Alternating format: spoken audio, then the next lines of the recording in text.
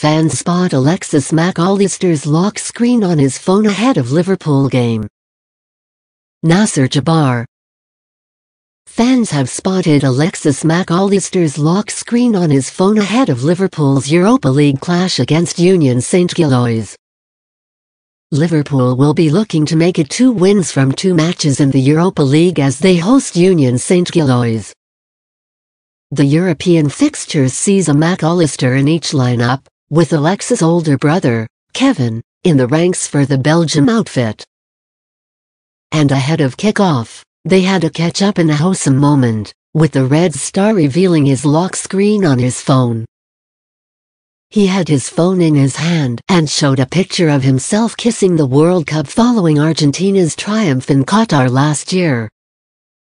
Liverpool the 24-year-old won't be able to go up against his brother until Jurgen Klopp brings him off the bench.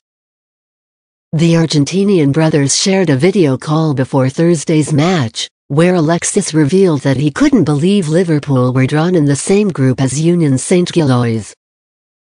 I remember one of the staff told me that we were in the same group, he said. I couldn't believe it. I told him to show me because I thought it wasn't true. For me, it was pretty special. Kevin, a defender, who only signed for the club in July, added, the pilot said first Lask, after Toulouse and then made a little pause. And I think, well, we can't play against Liverpool. And then they said, Liverpool. Of course, I played against my brother before and it was really special.